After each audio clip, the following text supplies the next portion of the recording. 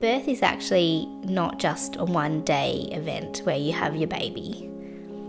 Birth is about making a baby, but it's also about making a mother and a father and a family.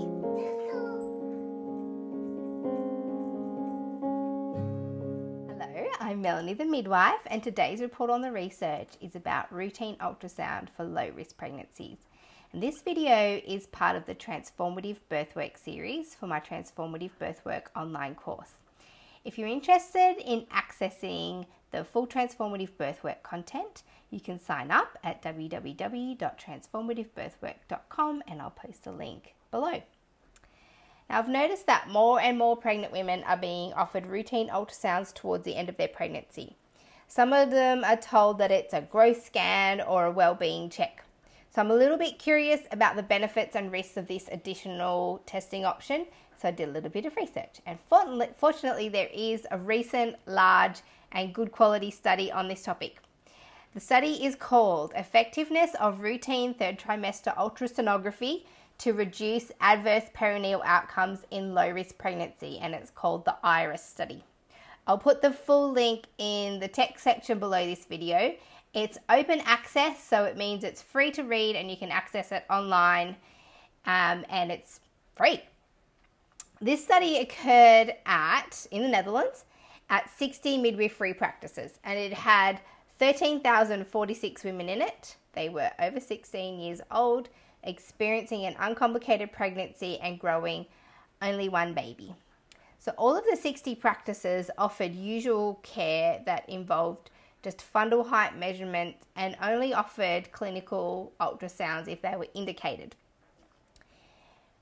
After 3, 7, and 10 months, a third of these practices, so 20 of the original 60 practices that were in the study, were randomized to change their usual practice and put in place a new intervention. So now, as well as receiving usual care, women randomized to the intervention group were offered two additional routine biometry scans between 28 and 30 weeks and also between 34 and 36 weeks gestation. The researchers wanted to see if the intervention strategy of introducing this ultrasound regime would make a difference to a cluster of severe adverse outcomes for the babies. These included the number of babies that died, that required advanced assistance, or that became seriously unwell, unwell after birth and they also want to see if there would be a change in severe maternal morbidity or a change in spontaneous labour and birth rates. Now, the researchers were motivated to conduct this study because the Dutch Ministry of Health have considered introducing routine ultrasound in the third trimester of pregnancy, but they were unable to decide on if this would be an effective screening strategy because there was a significant lack of evidence. So, any practitioner that was offering routine third trimester ultrasounds prior to 2019 was likely doing this without adequate evidence to support their practice. But back to the study. what the researchers found was that the babies diagnosed as small for gestational age at birth were more often detected in the intervention group at 32% when they compared that to the usual care group, which detected uh, the rate of SGA at 19%. So, women receiving ultrasounds in the third trimester were significantly more likely for their baby to be diagnosed with small for gestational age or SGA than the usual care. But what's worth mentioning here is that this term small for gestational age or SGA is different to the more concerning circumstance of fetal growth restriction. The term SGA is often used interchangeably with fetal growth restriction, but they're different. Many small for gestational age babies can be constitutionally small but healthy, and any baby that's in the lowest 10% on the on the growth scale is considered small for gestational age.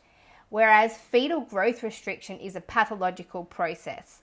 So, not differentiating from the two is quite unsatisfactory. So, what this study is saying is that SGA was diagnosed more often for women receiving the third trimester ultrasounds. However, that SGA is simply a variation of normal or the lower end of normal growth and not actually a complication.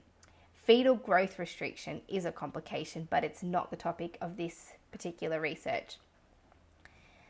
So, despite the increased diagnosis of SGA in the ultrasound group, the incidence of severe adverse perinatal outcomes was 1.7% for the ultrasound group and 1.8% for the usual care group. Remembering that these statistics are quite accurate because of the large number of women in the study. Therefore, the difference in outcomes at the end between the groups was not significant, except that women randomized to the ultrasound group showed a higher incidence of induction of labor, but maternal outcomes and other interventions didn't differ between the two strategies. So, the authors state in the article that the number of babies with a birth weight below the 10th centile, which is the cutoff for the diagnosis of SGA, was 8%. And previous research suggests that most of these babies are likely to be constitutionally small rather than growth restricted and would not be at an increased risk of severe perinatal outcomes anyway.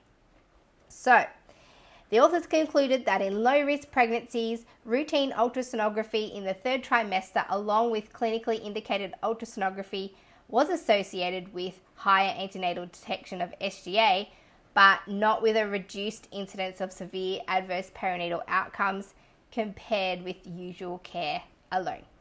So the findings of this study do not support routine ultrasonography for the third trimester for low risk pregnancies. The take home message here is that adding routine ultrasound to routine antenatal care does not improve outcomes for women or their babies, and it actually increases induction rates without a correlating benefit to the baby, which is who the induction is supposed to be for. In short, this is an inappropriate use of internet intervention.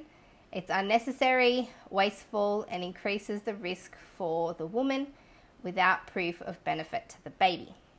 Essentially, this study is telling us that although ultrasounds might be able to diagnose that a baby is small, getting the baby out of its mother ahead of time does not improve outcomes for the baby.